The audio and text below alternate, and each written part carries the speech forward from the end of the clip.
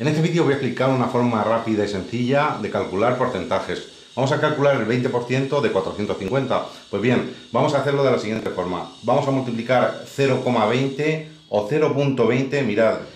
En España los números decimales se escriben con coma. En algunos países de América Latina en vez de coma se escribe punto decimal, pero al final el resultado va a ser el mismo, independientemente de utilizar coma o punto decimal.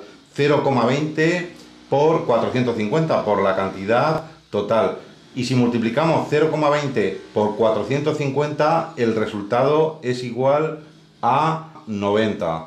Mirad, vamos a hacer la operación con la calculadora para que veáis que está bien realizada. 0.20 por 450 es igual a 90. Mirad, aquí terminaría el vídeo. No obstante, ahora os voy a explicar la lógica. Vamos a calcular el porcentaje mediante una regla de 3 simple. Por un lado tenemos la cantidad.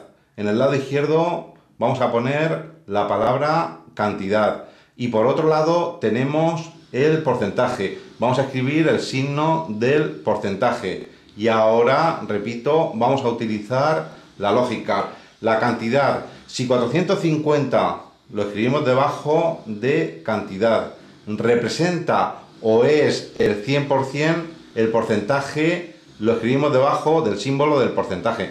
Entonces, X, que es la cantidad que no sabemos, será el 20% lo escribimos debajo del porcentaje. Ahora vamos a despejar el valor de la incógnita x, de donde x va a ser igual a multiplicar los términos en cruz. 450 por 20 y el resultado obtenido se divide entre el número que está en el lado contrario o opuesto a la x, entre 100. Venga, vamos a hacerlo. Mirad, 450 por 20 entre 100. Podemos simplificar tachando dos ceros en la parte superior y dos ceros en la parte inferior, con lo cual quedaría 45 por 2 y 45 por 2 es igual a 90.